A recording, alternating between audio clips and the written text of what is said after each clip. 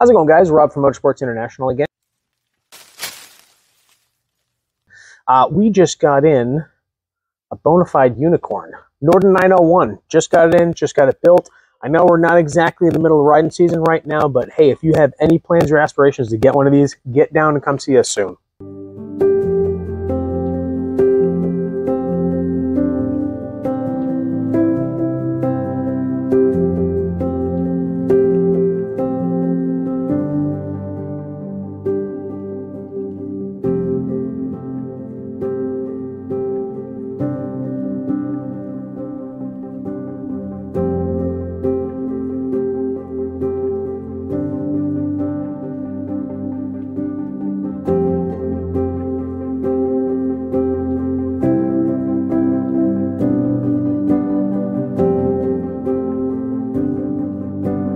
If you could like, share, and subscribe this video and our page, we would really appreciate it.